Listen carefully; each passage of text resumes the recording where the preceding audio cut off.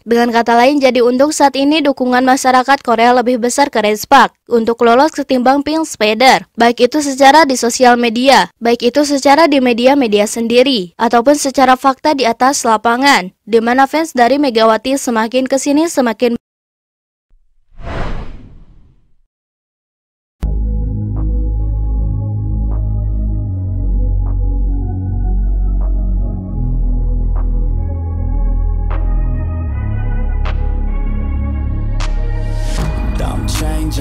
Pertandingan semifinal playoff V-League Volley akan mempertemukan Pink Spider sekaligus Respak sebagai salah satu laga yang dinanti-nanti oleh semua orang. Tentunya kondisi ini mempengaruhi semuanya, di mana peluang Pink Spider jauh lebih diunggulkan di atas Respak. Ada beberapa alasan kenapa Pink Spider jauh lebih diunggulkan ketimbang Respak. Alasan yang pertama adalah faktor kekuatan, sedangkan alasan yang kedua adalah faktor kandang. Jadi berkat mereka bermain di posisi kedua, Pin Sepedar akan memiliki dua kesempatan bermain di kandang. Jika pada tanggal 22 dan di tanggal 24 kemenangan menjadi 1-1 serta Respak tidak kalah 2-0. Hal ini memperjelas bahwa Pion Sepedar memiliki peluang yang besar dari dukungan kandang. Kendati demikian, dengan kondisi seperti itu tentunya tidak mudah bagi Respak untuk menjalani pertandingannya tersebut apa pun alasannya. Sebab pada laga tersebut bermain di laga kandang tanpa dukungan supporter adalah sesuatu yang mustahil untuk mendulang kemenangan.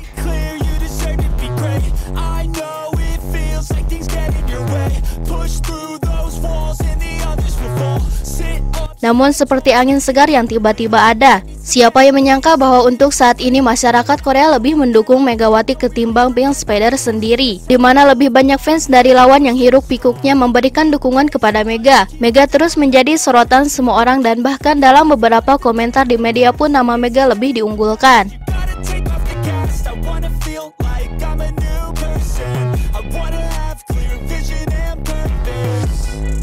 Selain itu, semua fans Mega dari Korea tampaknya lebih banyak tidak seperti dulu. Dengan kata lain, peluang Mega untuk menjadi juara dengan dukungan masyarakat Korea lebih besar. Apalagi di kandang lawan di EBK Altos pun Mega seolah-olah seperti artis, di mana dirinya disambut dengan heboh sekali oleh para penggemar.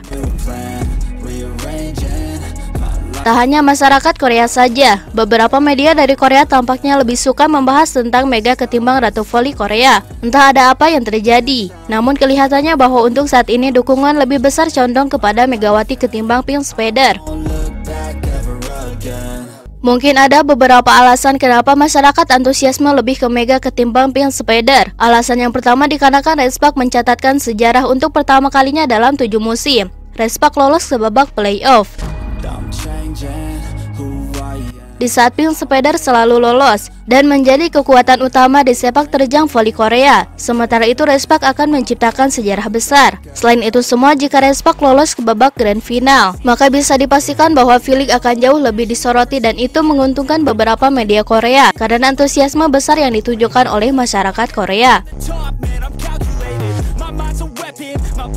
Dengan kata lain, jadi untuk saat ini dukungan masyarakat Korea lebih besar ke Respak untuk lolos ketimbang Pink Spider, baik itu secara di sosial media, baik itu secara di media-media sendiri, ataupun secara fakta di atas lapangan, di mana fans dari Megawati semakin ke sini semakin besar sekali.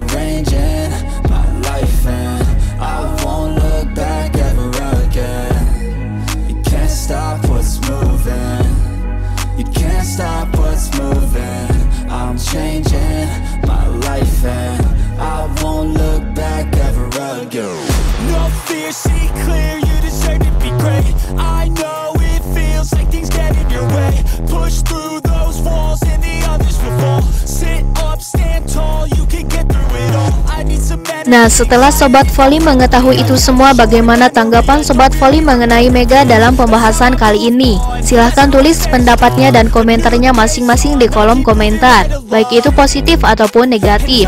Yang penting kritikan dan saran membangun, tapi jangan berlebihan. I wanna feel like I'm a new person.